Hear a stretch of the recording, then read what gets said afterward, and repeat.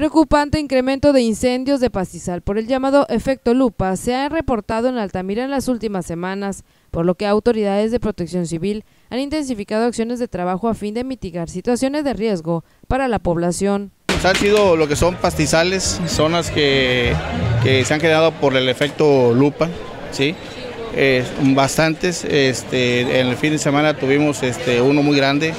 que fueron de cerca de 30 hectáreas acá en la altura de Santa Gertrudis, más otros más aquí en la zona este, del puerto, ¿sí? del Boulevard de los Ríos. obviamente pues, pues hemos estado este, eh, con temperaturas altas y pastizales que, que se han incrementado, pero de una u otra manera, bueno,